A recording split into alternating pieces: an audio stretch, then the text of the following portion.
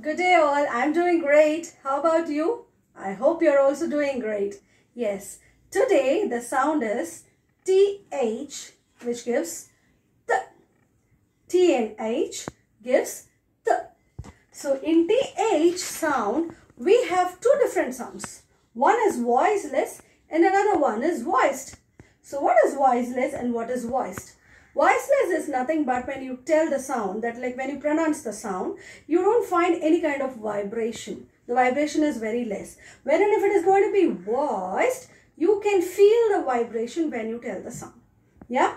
So voiceless is th, th, th. Wherein voiced is the, the, the.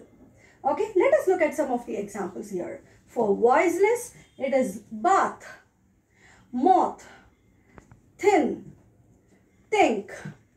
Okay, for voice, it is that, those, the, they, and this. So here, when you say these words, you can find some kind of vibration in your mouth when you pronounce. Wherein in these words, you don't get it. Okay, so these are the two types of sounds that we have for TH alone. Yeah, and let us look at some of the examples with sentences. That is my car. You know, I look so thin in this dress.